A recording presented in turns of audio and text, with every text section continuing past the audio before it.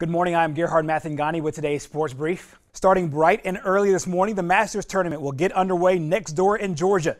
The setting, of course, will be far different from a typical spring major tournament, but the excitement for the Green Jacket chase will be the exact same.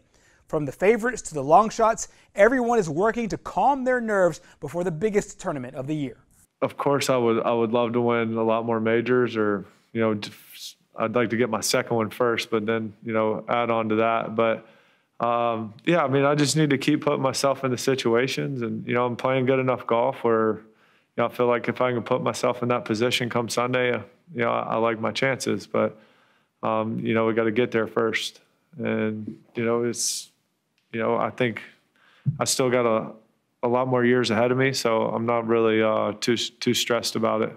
I've always liked sort of doing my own thing and trying to stay as low key as possible you know, sometimes the way I've played over the years, it, you know, I haven't, you know, that hasn't happened because, you know, I've won some tournaments and, you know, I, have you know, I've, I've been on some pretty good runs at times. Um, but yeah, I don't mind this. This is, this is nice. It's, you know, it feels like everything this year, it's more subdued. It's more relaxed. It's, sort of just, that's what, that's the feel for me anyway. And I was hesitant to come back and start playing. That's why I waited as long as I did and came back at, at Memorial. And from there, I really haven't, as I said, haven't put all the pieces together, and hopefully that'll be uh, this week. Moving to college football, a fourth game was postponed in the SEC yesterday. The Georgia Missouri game in Columbia is now off, and it is unclear if that contest will be rescheduled.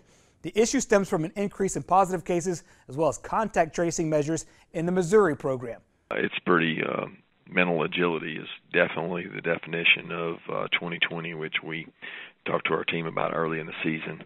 So it's one of those deals that uh, you you find out you have a plan for Plan A and you have a plan for Plan B, and uh, we had obviously been working that way all year. Um, kind of saying that if a game got canceled, what we would do and having a plan for it. And then as we found out yesterday and the day before um, that, that Missouri was having complications, um, we, we've we've got a plan to continue to work on us, and we've got plenty to work on. And good thing is we get to uh, to do some some things against each other and uh, compete, and it's always better when you get to do that rather than having to work on an opponent all week. And uh, we were, for the most part, uh, almost through with the, the entire game plan on Missouri, so puts us a little ahead in regards of if we get to play them, uh, you know, at the end of the year. Um, but again, we're, I know that the SEC is evaluating when the game will be rescheduled, and that's kind of out of our hands. As for now, there are three games on the slate for Saturday Vanderbilt at Kentucky, Arkansas at Florida, and South Carolina at Ole Miss. That's your morning sports brief. Our program continues next.